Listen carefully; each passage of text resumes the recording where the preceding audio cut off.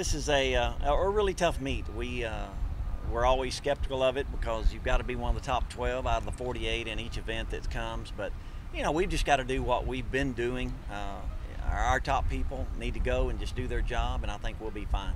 Has there been any push among coaches to uh, eliminate this?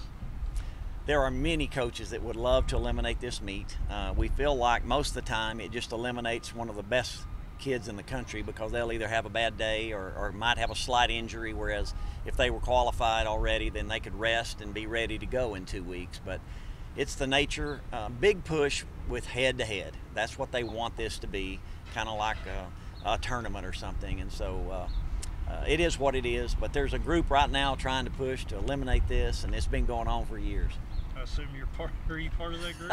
I am a part of that group. So uh, me and several coaches, but uh, you know, you've got uh, a cabinet. It's the NCAA cabinet that kind of been overruling us uh, a lot lately. Is everyone completely healthy? We're pretty good shape. Uh, you know, Charles Brown had a little slight uh, calf strain at the conference meet. We didn't triple jump him or run him on the four by one. He's he's looked great all week, and so and Werner's neck's held up fine. So we're gonna he's gonna be ready for the javelin, and uh, I think we're as healthy as we've been all year. So that's that's a big deal at this meet. Yeah, and kind of as you get it's late season, do you really change preparation at all? Really? You can, I, and I tell the kids that it's race and recover almost at this point. I mean, we had a hard Big 12. You go three, four races, and you take three or four days off, and we let them recover. And we came back and took finals for two days and then so we didn't see them until Wednesday. And then we've just done a couple of quality workouts. And we did one today, and then we'll pretty much travel, rest them up, and go. Sweeping the conference titles, maybe. Sorry if this question is kind of shows a lack of, of knowledge when it comes to maybe a difference between indoor and outdoor. Is that a commonplace thing that you've seen teams be able to do, or is there such an adjustment between coming from indoor to outdoor track? I think uh, the question is more of how your team is built. And uh, when I was hired, Gerald Myers wanted an outdoor team, and so uh, you have more events. You have the discus, the javelin, the four by one. You have different, a bunch of different events. Uh, uh, that you don't have indoors. Indoors is a lot of distance running. It was made for the northern schools in the wintertime to uh, be able to run, and they added more distance races than sprints because just of how cold it is. The sprinters could never practice.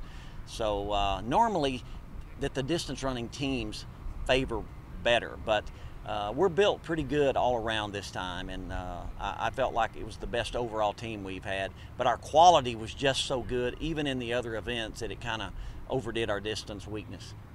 I know it's very much a you got to be in the top 12. Who are your, we'll say 10 to 14 range athletes that could work their way in, or have to be watching, really watching over their shoulder this week?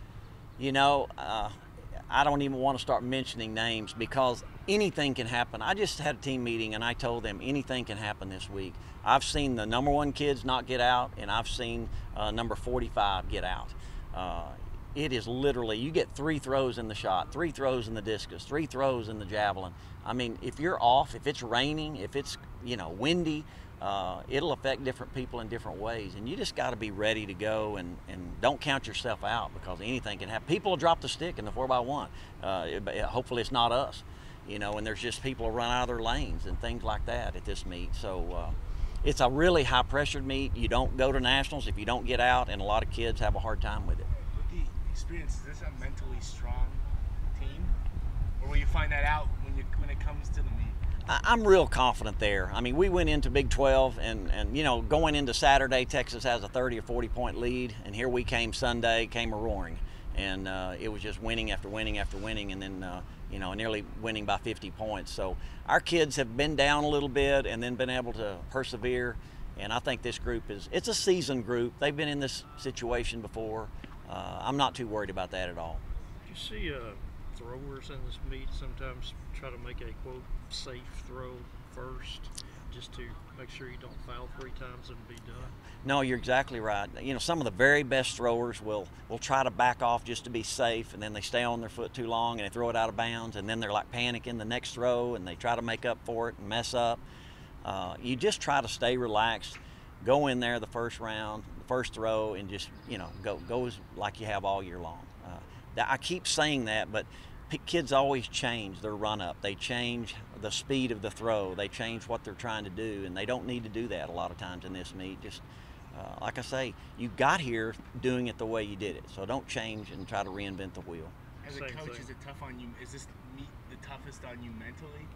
Yeah, I think this is the toughest meet for me, period, because I don't know who's going to get out, and you know, and we've got some really good kids that we want to make sure we get out and we get out healthy uh, to make sure we can make it to Eugene, you know, in, in two weeks. So uh, it, it's probably the, the toughest meet on me all year. I love winning the Big 12, and I'm always nervous about that, but uh, now we're at another level now, so uh, we got to get things right.